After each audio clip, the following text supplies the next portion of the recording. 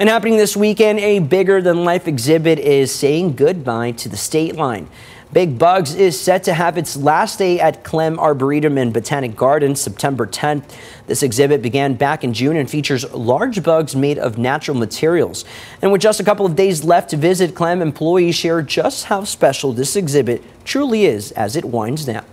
They're all thrilled. They all have their favorites, as do most of us uh, grown-ups have our favorites as well. So it's just an amazing example of what can be done with all natural materials. The talent um, and the creativity is just unmatched. Admission to Klehm Arboretum is only $10 for adults and $8 for both seniors and students. Admission to the exhibit is included.